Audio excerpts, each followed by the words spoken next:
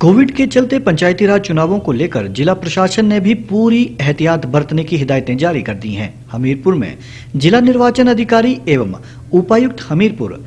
देव श्वेता वणिक ने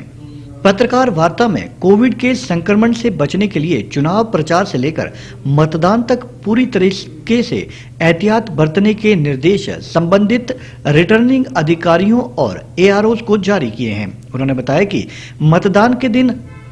हर मतदान केंद्र के बाहर हाथों को धोने व हाथों को सैनिटाइज करने की पूरी व्यवस्था की जाएगी ताकि मतदान केंद्र में मतदाता स्वच्छ हाथों के साथ ही प्रवेश कर सके। जिला निर्वाचन अधिकारी एवं उपायुक्त देव श्वेता वणिक ने बताया कि इस बार चुनावों में कोविड के मद्देनजर पूरी तरह से सतर्कता बरती जाएगी और मतदाताओं को भी संक्रमण से बचाव के लिए काम किया जाएगा। उन्होंने बताया कि अगर किसी मतदाता में तापमान अधिक पाया जाता है तो उक्त मतदाता को एक रसीद दी जाएगी ताकि वे समय समाप्ति के बाद आकर अपना मतदान दे सके।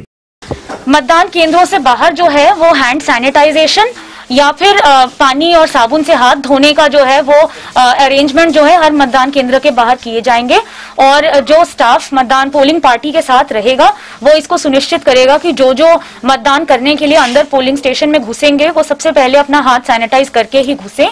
उसके साथ साथ पोलिंग स्टेशन में भी जो है बहुत ज़्यादा अंदर जो है एक एक साथ में लोगों की भीड़ इकट्ठी नहीं होने दी जाएगी। और यदि कोई कोविड जैसे लक्षण शो करता है, कोई जब मतदान करने आए कोई तो उसको जो है ये हिदायत दी जाएगी कि वो सबके वोटिंग खत्म होने के बाद आके, अलग से आके जो है अपना वोट डाल सके और इसके तहत उसको एक रिसीट भी जारी कर दी जाएगी ताकि वो एज प्रूफ जो है बाद में आके अपना वोट डाल सके। उपायुक्त ने कहा कि ग्राम पंचायत चुनावों के लिए जिला प्रशासन पूरी तरीके से तैयार है और रिटर्निंग अधिकारियों को गाइडलाइंस जारी कर दी गई हैं और उनके मुताबिक ही चुनाव संपन्न करवाए जाएँगे। उन्होंने बताया कि कोविड काल में स्पेशल गाइडलाइंस दी गई हैं और मतदान के अलावा मतगणना में भी गाइडलाइन देकर अधिकारियों और कर्मचारियों को अवगत करवाया जा रहा है ताकि सही ढंग से चुनाव सम्पन्न करवाए जा सके।